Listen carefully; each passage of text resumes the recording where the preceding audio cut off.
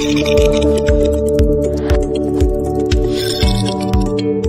අද දෙදස් විස්ස වර්ෂයේ ජුලි මස විසි වන සඳුදා දිනය වන අලෙකු පහරදීමෙන් රෝහල් ගත කර ප්‍රතිකාර ලැබූ කිලිනොච්චිය තාක්ෂණ පීටේ කතිකාචාරවරියක ජීවිතක්ෂයට පත් වී තිබෙනවා. මෙලෙස මියගොස් තිබෙන්නේ කැලනිය කැලනිමුල්ල ප්‍රදේශයේ පදිංචි තිස් දෙහැවරදි විහෙහි පසු වූ කතිකාචාරවරයන්. ඇය මොරටුව විශ්වවිද්‍යාලයේ ඉංජිනේරු පීටේ උපාධිධාරණියන්. වන අලි පහරදීමෙන් එම කතිකාචාරවරිය ඊයේ දින රාත්‍රියේ රෝහල් ගත කර තිබුණා. පොලිසිය පැවසුවේ කිලිනොච්ච කිලිනොච්චය අරවිය නගර ප්‍රදේශයේ පිහිටි යාපනය විශ්වවිද්‍යාලයේ කිලිනොච්චය තාක්ෂණ පීඨය තුළ නවාතැන්ගෙන සිටි කතිකාචාරවරියකට අදාළ නවාතැන් පොළ ආසන්නයේදී මෙම වන අලයා පහර දී ඇති බව අනතුරට ලක් වූ කතිකාචාරවරිය කිලිනොච්ච රෝහලට ඇතුළත් කිරීමෙන් පසු අනතුර වැඩිදුර ප්‍රතිකාර සඳහා යාපනය රෝහලට ඇතුළත් කර සිටියදී මෙලෙස ජීවිතක්ෂයට පත් වී තිබුණා සිද්ධිය සම්බන්ධයෙන් කිලිනොච්චය වනජීවී කාර්යාලය දැනුවත් කර ඇති බවයි සඳහන් වන්නේ. දිනපතා ඇහෙන අලුත්ම උණුසුම් පුවත් දැනගන්න